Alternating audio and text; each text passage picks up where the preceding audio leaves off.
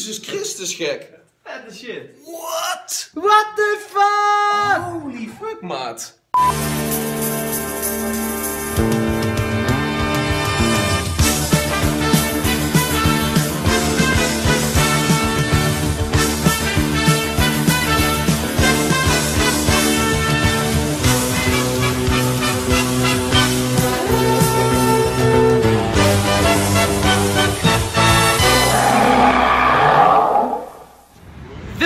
Het schitterende Parijs.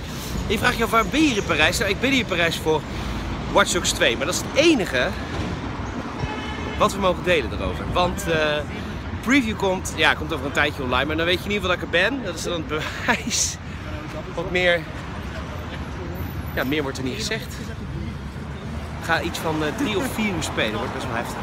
Best wel zin in. Ik wacht best wel lang op Watch Dogs. En hij sneeuwt een beetje onder natuurlijk.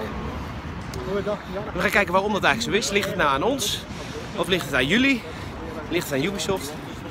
We gaan het zien. Het eh, leven van een eh, games reporter. Even snel, eh, daar gaat de trein. Want dezelfde dag heen, dezelfde dag terug. Dus even snel een Big Mackie nemen. Voor we vrij stappen. Dat is echt prima. Prima. Beter kan niet. Lekker man.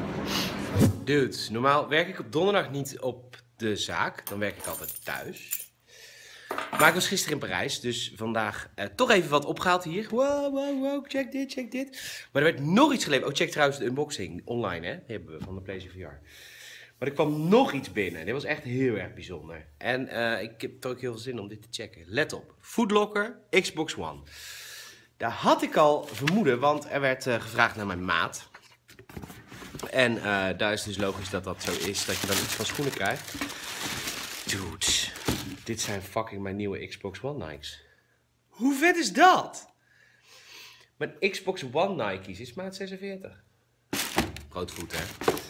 En eh, er zit een Xbox One labeltje aan. Verder zijn het gewoon Nikes. Hoe vet is dat? Krijgen we schoenen voor de Xbox One? Ik ben echt helemaal blij. Ik vind het echt tof. Met eh, ook echt raampjes ook. Raampjes zijn episch. Ongelooflijk trots ben ik. Echt bizar. Ik wil, nou dat hebben we waarschijnlijk in de eerste eerder, of een eh, video die je eerder deze week hebt gezien, al gedaan. Maar een dikke shout-out naar Ricardo. En vooral naar Daniel 2.0, onze designer, want het clubblad is binnen. We hebben ze net verzonden, de eerste. Ehm, de eerste batch hebben we net verzonnen. Ik hoop dat er nog heel veel komen, maar goed, dat ligt aan jullie, of jullie, eh, of jullie het tof vinden. Maar we zijn er in ieder geval wel heel erg trots op. Check hem jongens. Dit is het Games het Clubblad. Je ziet ook hij is shiny, want de voor- en achterkant is natuurlijk een dikke cover. En eh, ja, het ziet er ongelooflijk vet uit. We hebben, we hebben er ook heel veel liefde en heel veel werk aan besteed. Eh, check het interview met de member van de maand, onze Salim. Super vet. En ehm, hele kneuterige wisje datjes hier. Ehm, check ook eh, de geschiedenis van Gamersnet, leggen we hier uit. Ah, tof zeg. En dit is Ferry van de Gamers uit Rebels. En Vriendendag en Marcel, check hem. Heel interview met Marcel. Nou, we zijn er ongelooflijk trots op. En wauw, wat ging er mis met V5? Wow, dat kun je allemaal lezen. Ehm dankjewel, want ehm, de- ja, we zijn er echt heel trots op dat we dit mogen doen van jullie. En ehm, we hopen dat we het voor veel meer mensen nog mogen doen. Maar goed, dat ligt helemaal aan jullie. De eerste drie nummers gaan sowieso verschijnen. Dit is het eerste nummer. En eh, ongelooflijk trots op. Het krijgt echt een mooi plekje. Oeh, dit is Ricardo op de vrijdagvlog voor Gamersnet. Ik kom net van een presentatie vandaan van Mindscape Games. Het was eigenlijk een open presentatie met eh, wat games te spelen. Eh, er waren drie games aanwezig, waarvan eigenlijk ook wel VR-opties getoond werden.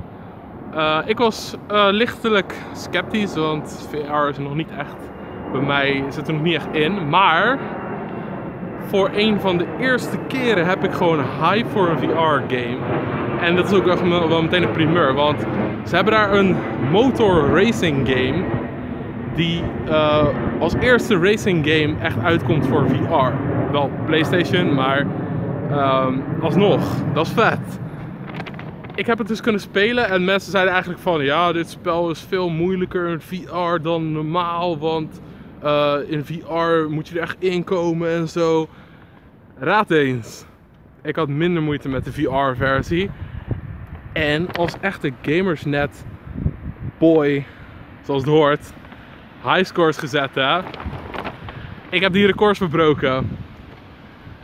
Ik heb die records daar verbroken. En ze vonden het eigenlijk opmerkelijk. Ik vond het wel tof.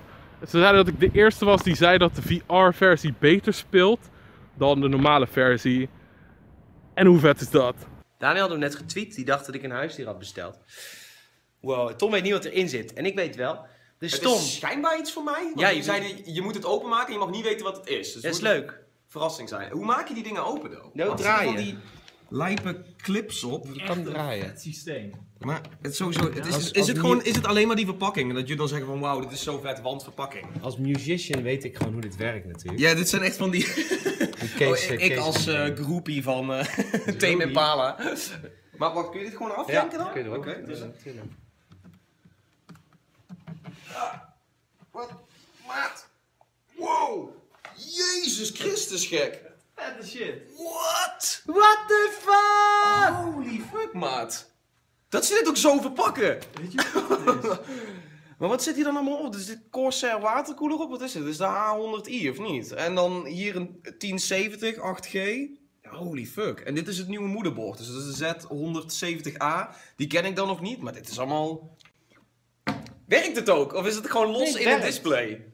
Maar dit, werkt. dit steekt er wel heel raar in. Ja, dat Dit hebben ze hoort. gewoon- Dit hebben ze gewoon gedaan met PCI zo. Dit zit- Ja, dit werkt Dat allemaal. is best wel weird. Dit is Ja. gewoon een werkende PC. Dit mag jij testen. Je kan hem Oh, gewoon zo aanzetten. Ja, Ja. ja, hier zit het RAM-geheugen, ook Corsair. Dat zijn die Vengeance schijven. Dat ziet er echt lijp uit, gek. Holy fuck. En dan ligt hier ergens onder nog een, nog een SSD'tje, of niet? Achterkant USB. Dat is echt... eh, Oh ja, hier zit gewoon de aanknop en USB's. Oh, vet. Ja, hij werkt niet zonder stroom, hè. Tenminste, denk ik. Ik weet niet of ze ook een of andere accu of zo erin hebben gelegd, maar... Wat bizar, dit pakket. Nou, het staat wel mooi op display. Ja, hij moet volgende week terug, dus veel plezier. Oh, oh, oh. En het past niet in de PlayStation. Nee. nee. Ja, misschien die Pro. Ja, in de pro. Yo, ehm, zoals beloofd, eh, vorige vlog, eh, we zijn op zoek naar plantjes voor in de streamdonatie van vorige week. Mocht je deze nog niet hebben gezien, dit zijn cadeautjes van eh, LP Mathematic, Martijn op Twitch. Super vet. Eh, ik heb dus een twee heb ik gekregen van de guy die ze uitprint. Super vet. Ik heb de blauwe, Jessica loopt daar rond met de groene.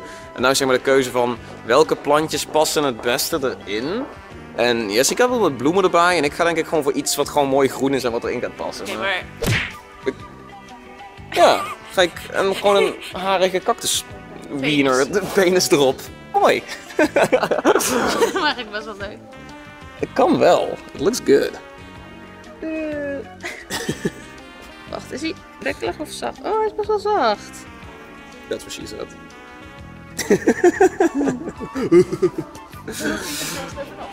I don't know, ik ga denk ik gewoon voor deze, want eh, ze moeten wel even uit het potje worden gehaald en dan even erin gepot, maar dan, dan het past toch wel, I don't know. Het is niet echt zo'n zo'n tulp die Bulbasaur eigenlijk erop heeft, maar Ja, maar het is moeilijk nadenken, omdat je moet denken van dat ding komt lager. Dus stel Ja. je hebt een klein plantje, dat ziet er dan zo wel leuk uit, maar stel je zet hem erin, dan valt hij vervolgens echt helemaal weg achter het hoofd. I don't know. Mm, I don't know. Daarom dacht ik, hé, deze plant is hoger, dus als hij erin zakt. Is, maar dit is wel mooi met die bloemen erbij, I guess. Hij heeft ook iets meer die Venusaur vibe. Ja, maar zover is hij nog niet. Ik heb hem nog niet getraind. Oh. of je bedoelt, ik heb nog niet 300 andere Bulbasaurs gevangen. Oh, dat kan ook. Het ziet er wel dope uit. De kleuren zijn mooi bij elkaar. I like it. It's good. Not sure. Ik denk, het, het is gewoon. Het is, het is duidelijk. Keuzes! Moeilijk.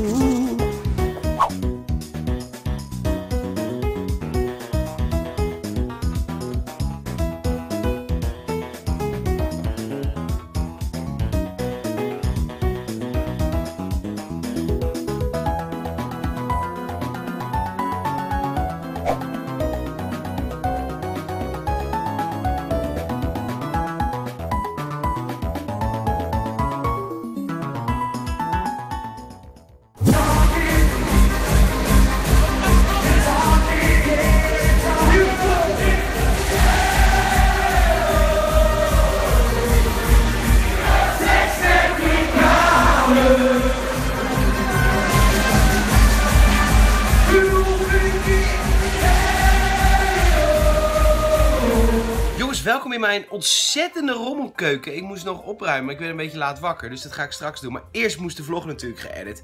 Bedankt voor het kijken deze week. En ehm, als je deze vlogs nou tof vindt, ze zijn elke maandag te bekijken op gamersnet.nl en vanaf elke dinsdag op YouTube. En eh, geef even die like, die volg en volg ons overal. hè. Twitter, Facebook, Instagram, eh, Twitch, YouTube. Whatever je wil, je kan ons volgen. En natuurlijk gamersnet.nl, want dat is de hub waar alles samenkomt. Eh, check dat en eh, ja, bedankt voor het kijken. En als je feedback hebt, laat het even weten hieronder in de reacties. Vinden we leuk. Later.